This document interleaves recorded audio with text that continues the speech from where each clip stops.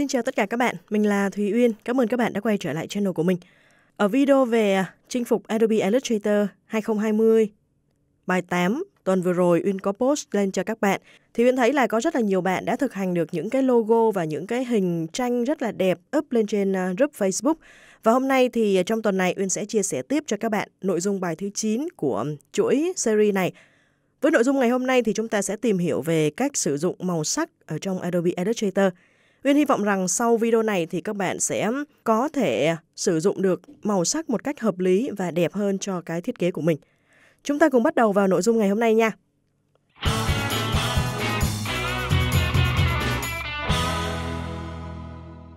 Đầu tiên thì Uyên có một cái workspace, một cái không gian làm việc như thế này. Và chúng ta quay trở về cái cơ bản một chút xíu.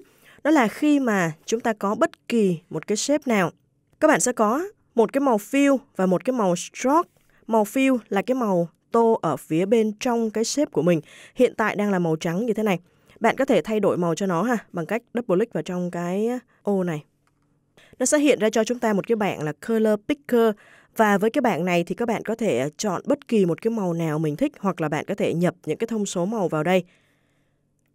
Ví dụ in chọn đại một cái màu nào đó thì bạn thấy ha, là chúng ta sẽ tô vào màu fill cho cái hình này. Yếu tố thứ hai đó là màu stroke nghĩa là màu đường viền. Bạn thấy ở đây chúng ta có một cái màu đen này, cái viền màu đen này. Và cái độ dày bạn có thể tăng lên để chúng ta nhìn thấy nó rõ hơn. Đó, ví dụ ha chúng ta có cái đường viền màu đen như thế này. Bạn muốn hiệu chỉnh cái màu của cái phần nào bạn sẽ phải đưa nó lên trên. Bạn click vào nó nha. Bạn click vào nó để đưa nó lên trên.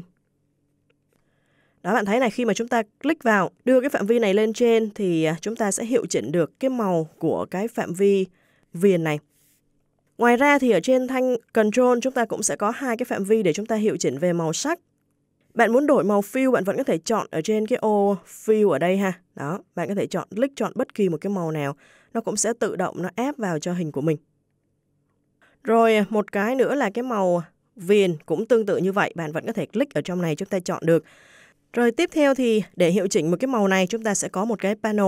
Bạn có thể vào trong Windows này, bạn mở ra cái bảng panel là Color, phím tắt của nó là F6. Thì trong cái bảng Color này nó sẽ giúp cho chúng ta có thể hiệu chỉnh những cái màu mà mình đã chọn một cách nó cụ thể hơn. Ví dụ như là trong cái shape này nó đang là một cái màu xanh đúng không? Thì bạn có thể thấy là những cái thanh ở đây nó cho phép chúng ta hiệu chỉnh cái kênh RGB này từng cái kênh màu một và phía dưới này là một cái bảng để cho chúng ta có thể click chọn một cái màu nào đó vào. Góc ở đây chúng ta sẽ có những cái ô để chúng ta nhập thông số mã màu mà chúng ta cần sử dụng vào. Thì nếu mà trong trường hợp chúng ta muốn sử dụng một cái màu này cân chỉnh lại một chút xíu thì bạn có thể à, cân chỉnh trên những cái thanh trượt ở đây. Đó, ví dụ muốn nó đậm hơn hoặc là nhạt hơn bạn có thể hiệu chỉnh ở đây nha. Và nếu mà trong trường hợp chúng ta mở cái bảng color này ra và bạn thấy là nó không hiển thị là RGB giống như Uyên đang mở ở đây, thì bạn sẽ vào trong cái menu, cái pop-up menu, cái gạch này này, bạn click vào. Ở đây nó sẽ cho phép chúng ta chọn những cái color mode tùy theo cái nhu cầu của mình là cái gì. Còn trong trường hợp nếu mà bạn mở ra bạn không thấy nó hiển thị những cái này thì bạn chỉ thấy nó hiển thị một cái thanh màu như thế này thôi. Bạn cũng click vào trong ba cái gạch này và chúng ta chọn là Show Option thì nó sẽ hiển thị tất cả những cái thanh này của mình ra được đầy đủ hơn. Ở đây ha, Uyên lấy ví dụ chúng ta đổi qua một cái hệ màu khác, Grayscale chẳng hạn. Thì trong trường hợp mà hiển thị về Grayscale nó chỉ hiển thị những cái màu trắng đen xám thôi, chứ nó không có một cái màu nào khác ở trong cái Grayscale này. Và nếu mà các bạn muốn làm việc với CMYK thì bạn sẽ chọn CMYK nó hiện ra bốn cái thanh CMYK tương ứng. Hoặc là SSB này. SSB này là Hue, Saturation và Brightness. Thì lúc này bạn có thể chọn bất kỳ một cái thông số nào bạn hiệu chỉnh ở trong này. Tùy theo nhu cầu mình thôi. Mình thích chọn cái nào thì mình chọn. Thông thường thì Uyên hay làm việc với lại cái SSB này và cái RGB nó sẽ có hai cái color mode này là hai cái mà Uyên hay sử dụng nhất bởi vì à, đa số những cái sản phẩm Uyên làm là nó thuộc về digital, nó cũng không có về in ấn nhiều lắm cho nên là Uyên cũng ít khi Uyên sử dụng mà CMYK. Còn nếu mà các bạn làm chuyên về in ấn thì chúng ta nên sử dụng CMYK để chúng ta có hiệu chỉnh những cái kênh màu nó phù hợp với lại cái màu mực in của mình hơn. trong cái phần mà chúng ta hiệu chỉnh màu ở trên cái à, control bar này này, các bạn cũng có cái pop-up menu ở góc bên phải luôn. Thì trong cái pop-up menu này ha, chúng ta sẽ có thể làm tạo một cái màu swatch này hoặc là color group. Bạn có thể chọn những cái màu sắc và chúng ta nhóm nó lại thành từng một nhóm để chúng ta có thể sử dụng sau này.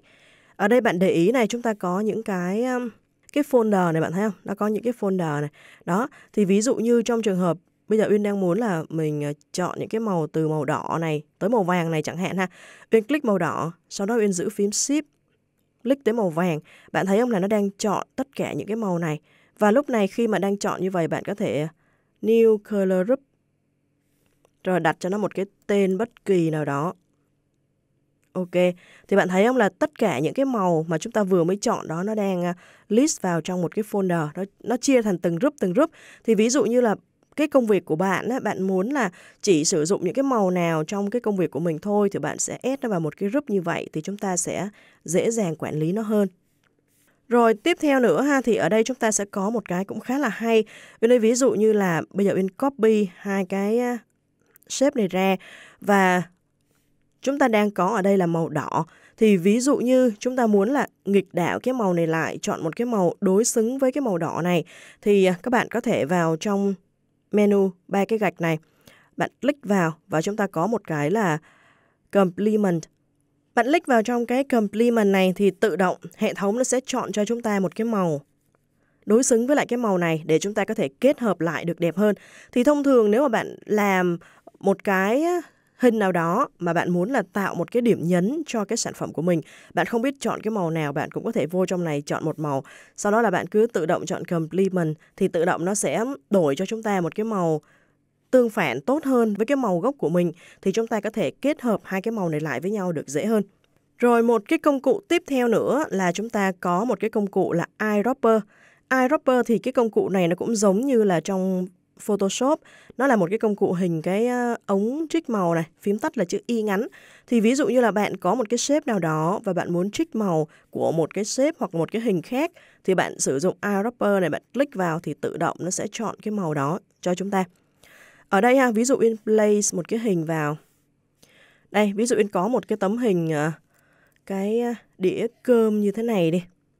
Chẳng hạn nếu có một tấm hình như thế này và bây giờ bạn muốn trích một cái màu nào đó ở trong cái đĩa cơm này, bạn cũng chọn cái shape của mình ha, rồi nhấn phím tắt là chữ Y ngắn này, bật cái công cụ eyedropper lên và bạn muốn trích cái màu gì bạn sẽ click vào trong cái hình này để bạn trích. Ví dụ cái màu kem này, thấy chưa? Rồi màu à, xanh này, đó hoặc là màu đỏ này bạn muốn trích cái màu nào bạn chỉ việc click vào trong này bạn trích thôi và bạn để ý cho Uyên nha khi mà chúng ta trích màu như thế này á thì ở đây bạn thấy là khi mà chúng ta nhấn một cái eyedropper để trích một cái màu bất kỳ nào đó thì tự động nó sẽ ép vào cho cái màu fill của mình, bạn thấy không?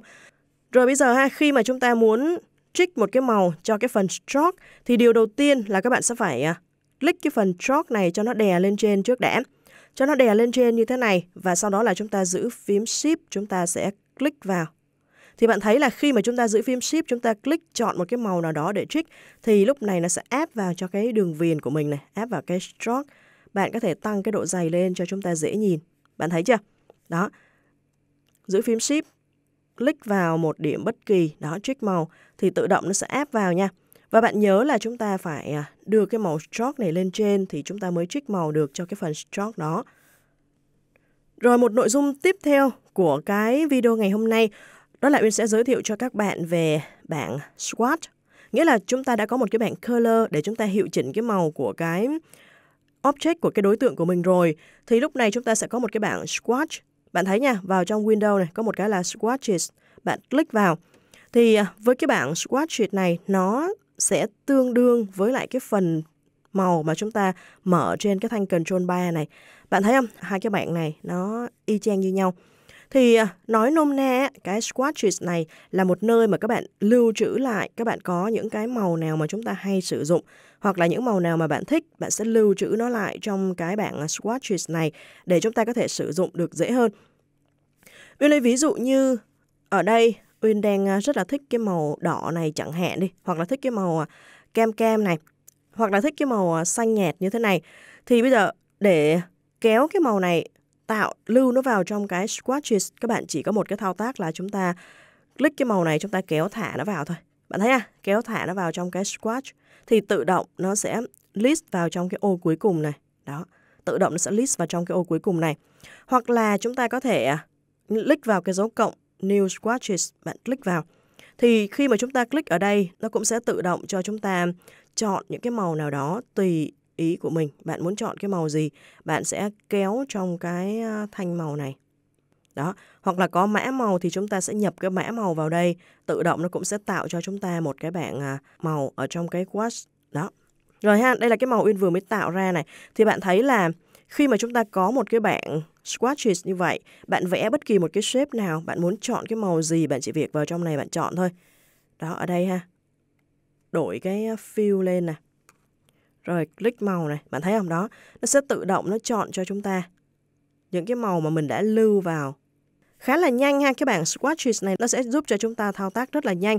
Bạn chỉ việc kéo thả kéo thả thôi, rồi muốn sắp xếp cái gì đó thì chúng ta sẽ tạo một cái folder và chúng ta sắp xếp nó giống y như hồi nãy Uyên vừa mới sắp xếp vậy đó.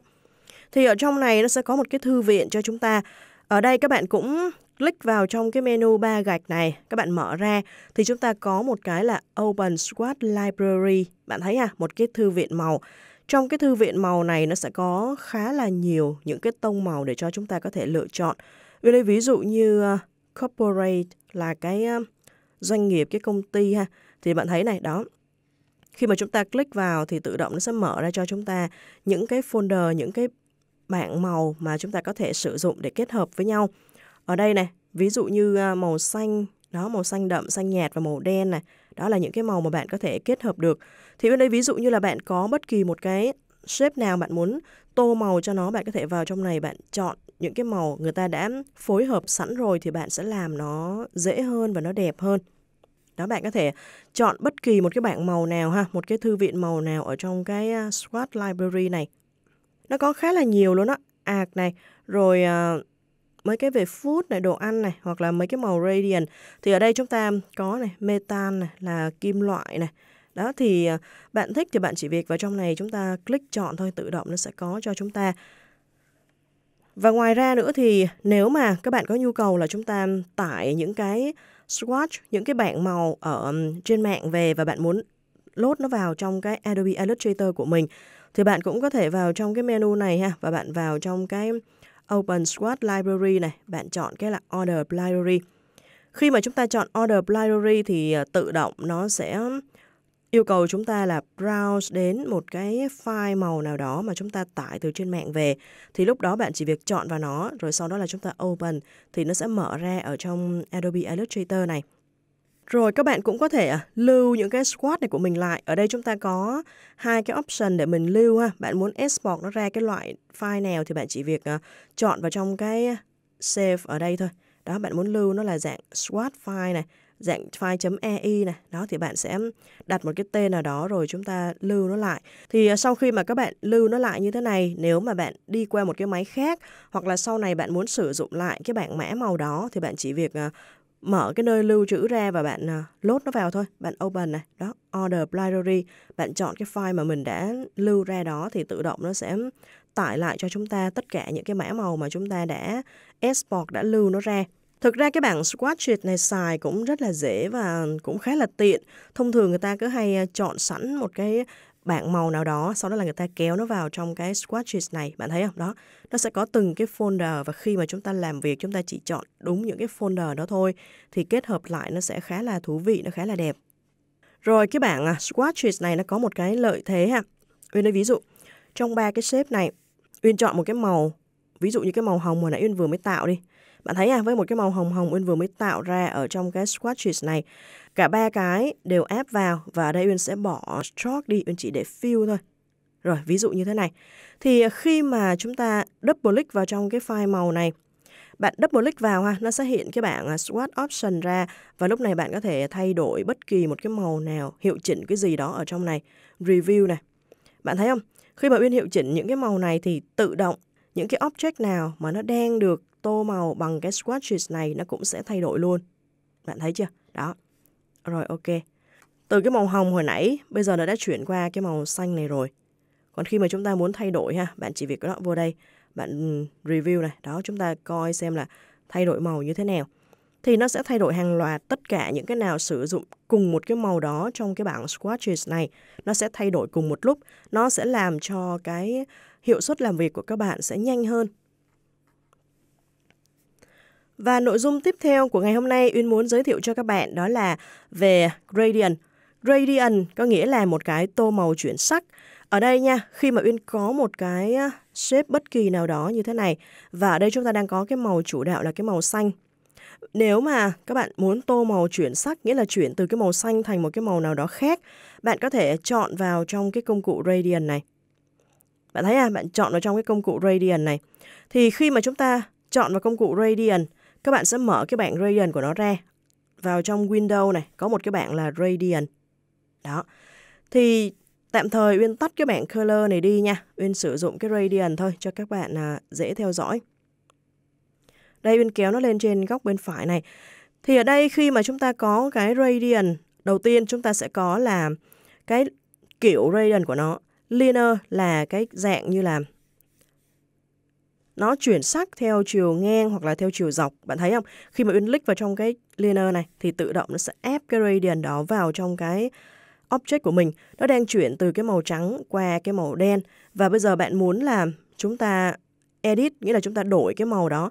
Bạn sẽ click vào trong cái gradient slider này, cái điểm này, cái điểm nail này. Đó, bạn click vào đây. Rồi bạn có thể là chúng ta double click vào nó cũng hiện cho chúng ta cái bảng để chúng ta hiệu chỉnh. Ở đây nó đang chỉ là trắng đen xám thôi, nó không có một cái màu nào khác. Thì bạn cũng có thể vào trong cái menu này, bạn chuyển qua RGB. Đó, rồi bạn sẽ click chọn một cái màu xanh hoặc một cái màu gì đó tùy theo nhu cầu của mình. Bạn thấy không? Ở đây ví dụ Uyên chọn một cái màu Radiant, chuyển qua như vậy. Hoặc là bạn cũng có thể là mở cái bảng squat ra, bạn thấy không? Khi mà chúng ta double click vào một cái điểm nail của Radiant, nó sẽ tự động liên kết đến Thứ nhất là cái color, thứ hai là cái squash và cái thứ ba là cái eyedropper. Thì ở đây ấy, là với cái bảng squash này bạn có thể click chọn màu. Đó, chọn màu trong những cái màu mình đã lưu sẵn. Thì à, nếu mà để cho chúng ta có một cái sự đồng nhất về màu cùng, trong cùng một cái file thiết kế thì các bạn nên sử dụng cái squash này để khi mà chúng ta muốn sử dụng lại cái màu đó chúng ta chỉ việc vào trong đây chúng ta chọn thôi thì tất cả những cái yếu tố trong cùng một thiết kế của mình nó sẽ đồng nhất với nhau về màu sắc đó, kiểu như vậy ha. Rồi à, khi mà chúng ta muốn thêm điểm neo hoặc là chúng ta muốn hiệu chỉnh gì đó ở trong cái thanh slider này, bạn cũng có thể là chúng ta click vào. Bạn thấy ở đây này, khi chúng ta rê chuột click vào ha, tự động nó sẽ tạo thêm cho chúng ta một cái điểm neo Và cái điểm neo này bạn cũng sẽ lặp lại cái bước y như hồi nãy, bạn double click vào, nó cũng sẽ hiển thị ra cho chúng ta những cái à, để chúng ta hiệu chỉnh về màu sắc. Bạn muốn nó chọn cái màu nào thì chúng ta sẽ chọn cái màu đó. Đó, bạn thấy chưa? Cái sử dụng Radiant này thì, thì cũng khá là dễ thôi. Đó, bạn muốn như thế nào đó chúng ta chỉ việc chọn vào đây. Rồi tiếp theo thì chúng ta có một cái loại thứ hai. Đó là radio. Radio là tô màu theo dạng hình tròn đồng tâm như thế này. Nghĩa là cái màu nó sẽ đổi từ trong tâm đưa ra ngoài. Và ở đây ấy, là chúng ta sẽ có thêm hai cái hiệu chỉnh nữa. Thứ nhất là về góc độ ở đây bạn thấy nó đang là một cái thanh nằm ngang như thế này. Bạn có thể hiệu chỉnh cái góc của nó. Ví dụ như Uyên chọn 60 độ chẳng hạn. Bạn thấy không? Tự động nó sẽ chuyển lên. Rồi hoặc là bạn muốn chỉnh tự do hơn. Bạn có thể đưa con chuột vào trong cái phạm vi hình này. Bạn click kéo rê. Bạn thấy chưa? Đó. Chúng ta muốn phạm vi như thế nào? Bạn chỉ việc click và chúng ta kéo rê nó thôi. Đó. Kéo rê những cái như thế này thì tự động nó sẽ tô vào trong cái phạm vi, cái object của mình. Cái này thì tô theo hình tròn đồng tâm ha. Đó, bạn muốn nó chuyển sắc như thế nào? Bạn click vào. Còn trong trường hợp mà cái liner hồi nãy cũng vậy, bạn không muốn nó chuyển ngang như vậy, bạn muốn nó chuyển dọc đi, bạn vẫn có thể là sử dụng kéo này. Muốn kéo thẳng, giữ phím Shift, chúng ta sẽ kéo được thẳng hàng hơn. Đó. Giữ phím Shift thì nó sẽ kéo được đường thẳng hoặc là một cái đường chéo như thế này, chéo 45 độ.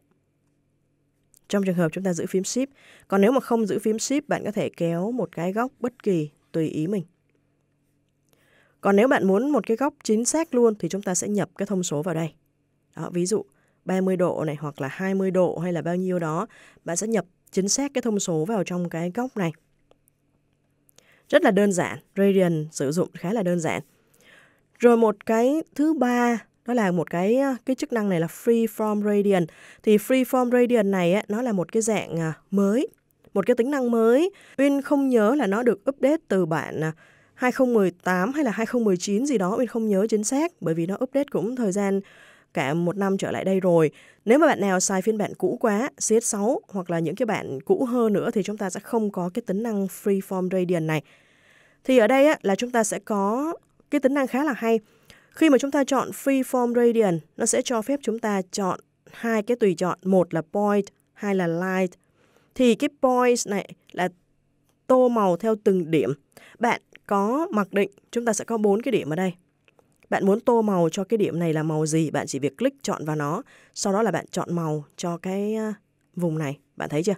Rồi cái vùng này bạn muốn nó rộng hay nó hẹp, bạn sẽ click chọn này, ở đây bạn kéo ra này, bạn thấy không? Đó, kéo mở rộng cái phạm vi của nó ra, nó sẽ có những cái độ chuyển. Rồi những cái màu này, bạn muốn thay đổi màu, bạn cũng chỉ việc chọn vào cái điểm neo của nó và bạn chuyển một cái màu khác. Thì cái freeform radiant này nó sẽ cho phép chúng ta chọn để chúng ta tạo ra những cái background mà giống như là blur nhiều màu như thế này nè, Khá là hay. Còn trường hợp nếu mà chúng ta muốn ép thêm, tạo thêm những cái điểm, bạn chỉ việc rê chuột bạn click vào thôi. Đó. Bạn click vào và bạn có quyền tạo bất kỳ một cái điểm nào đó trong cái thiết kế của mình. Bạn thấy chưa? Muốn tạo bao nhiêu thì tạo. Còn muốn xóa đi thì bạn chọn vào nó rồi bạn nhấn delete thôi. Chọn vào một cái điểm neo này này. Đó. Sau đó nhấn delete hoặc là click vào trong cái thùng rác ở trong cái bảng gradient này.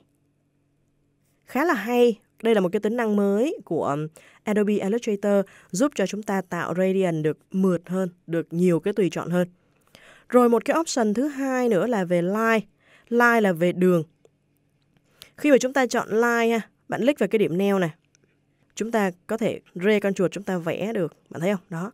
Kéo nó đi theo một cái cạnh như thế nào đó. Bạn thấy chưa? Đó chúng ta có thể tùy chỉnh luôn. Vẽ tùy ý mình. Thì ở đây trong mỗi một cái đường như thế này, một cái điểm này ha, bạn click một cái điểm này, sau đó là bạn à, có thể đổi màu cho nó này. Đó, bạn thấy không? Chúng ta có thể đổi màu cho nó thì nó sẽ chuyển động theo một cái dạng đường cong, đường thẳng tùy ý của mình. Bạn thấy chưa? Tự động nó sẽ có những cái đường line như vậy. Rồi cái đường này bạn muốn hiệu chỉnh nó, bạn vẫn có thể click vào và chúng ta di chuyển này, bạn thấy không? Đó.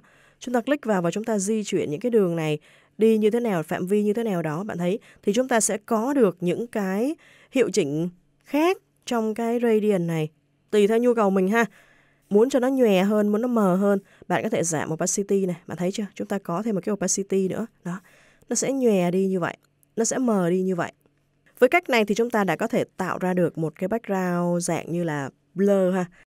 Background blur này thì khá là thịnh hành trong những năm trở lại đây khi mà iOS bắt đầu sử dụng về cái dạng blur này thì đa số những cái giao diện người ta cũng sử dụng những cái dạng background blur này khá là nhiều.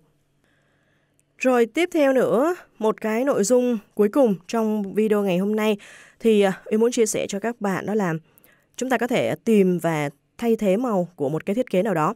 Uyên lấy ví dụ, ở đây chúng ta đang có một cái thiết kế như thế này. Đây là một cái hình Uyên đã làm từ khá là lâu rồi. Và bạn cũng có thể thấy là trong cái hình này, chúng ta có khá là nhiều màu. Bạn thấy không? Uyên đang sử dụng màu rất là sặc sỡ ở trong cái hình này. Các bạn muốn là chọn vào những cái shape chỉ mà có màu xanh không thôi ví dụ cái màu xanh của con mèo này. Ví dụ ha, nếu mà các bạn chọn những cái shape màu xanh thì không lẽ là chúng ta phải à, click vào đây rồi chúng ta giữ shift chúng ta click từng cái từng cái thì nó rất là mất thời gian và nhiều khi nó có những cái shape rất là nhỏ thì chúng ta sẽ không thể nào mà chúng ta chọn cùng lúc được nhiều. Từng cái từng cái như vậy được. Illustrator có một cái chức năng cho chúng ta chọn rất là nhanh. Đó là khi mà chúng ta chỉ việc chọn một cái thôi. Bên đây ví dụ ha, chọn vào cái đầu con mèo này, cái shape đang là màu xanh, đúng không? Các bạn sẽ vào trong menu select chúng ta sẽ có một cái là shame, giống giống nó.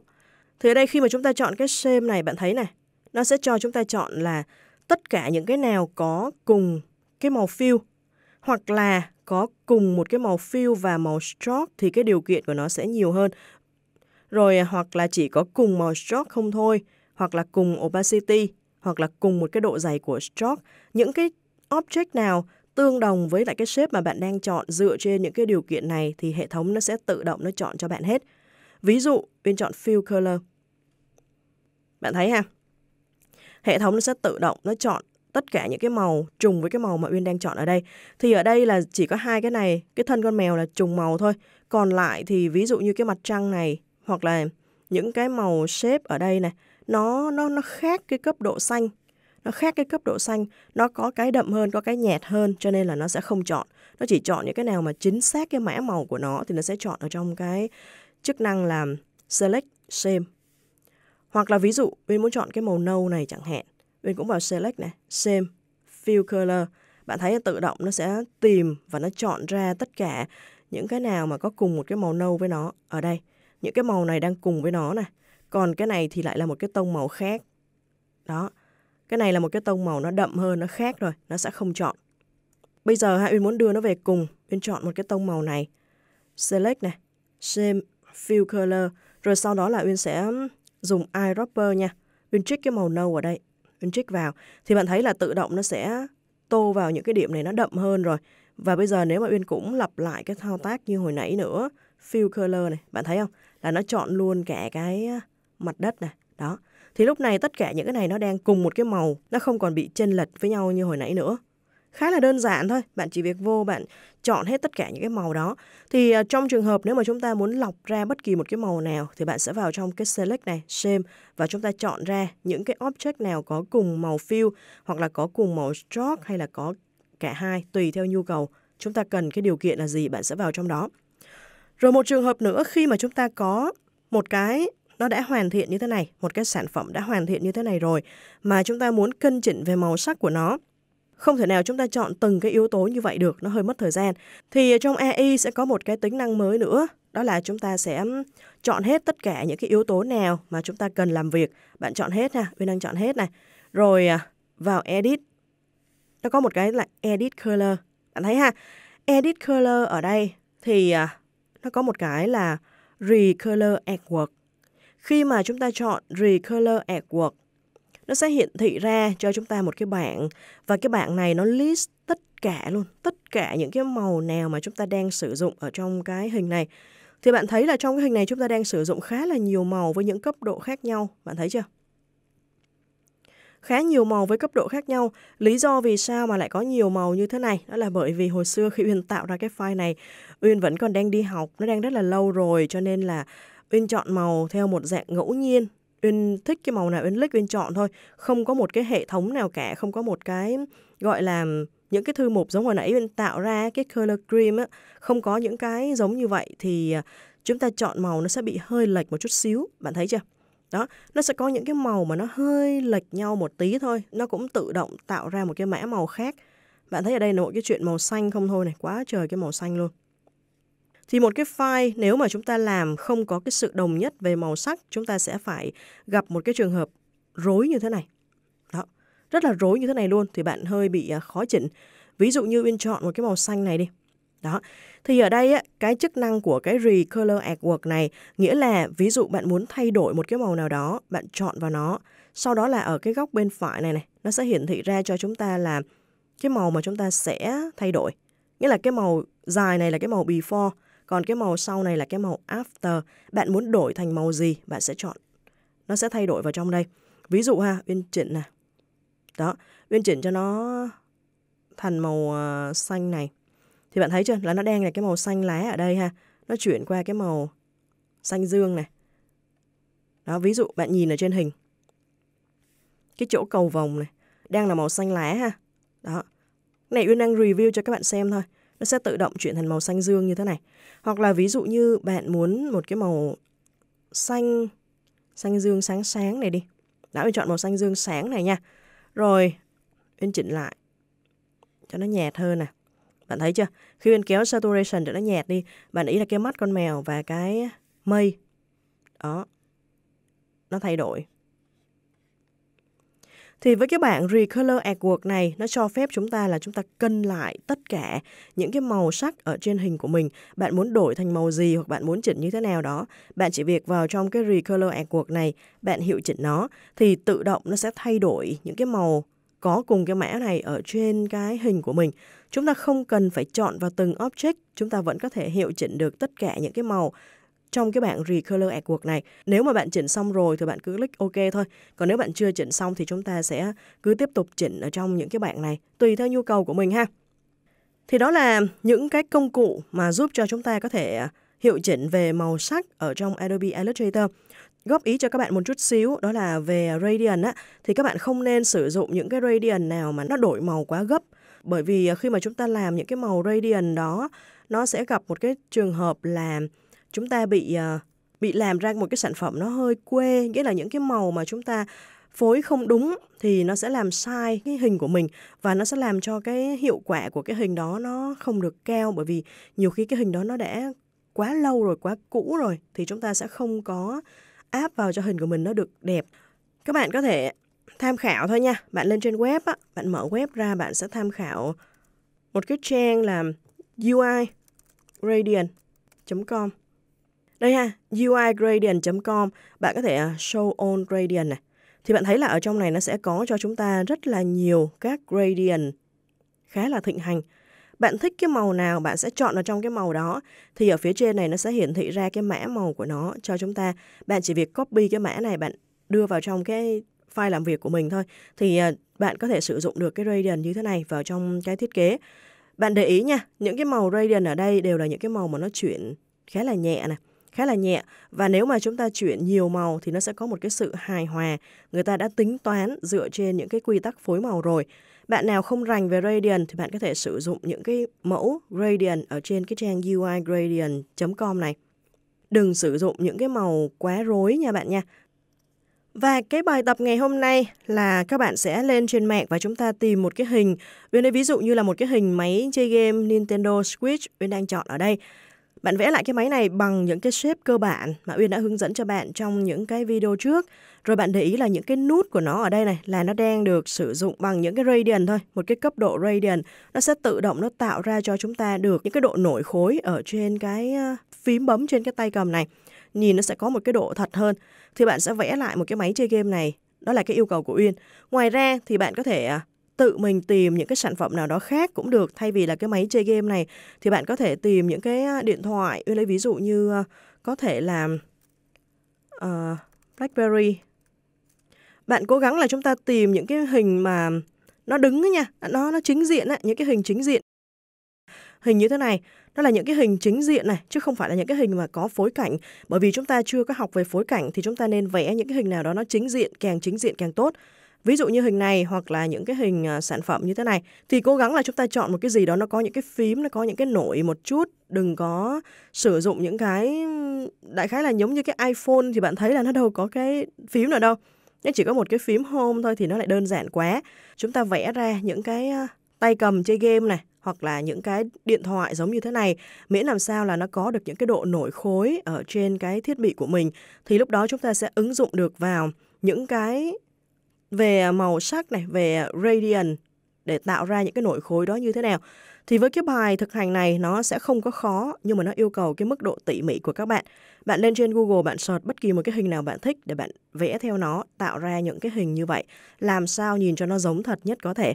Thì à, sau khi mà bạn đã làm ra một cái bài thực hành đó, bạn sẽ truy cập vào trong Facebook.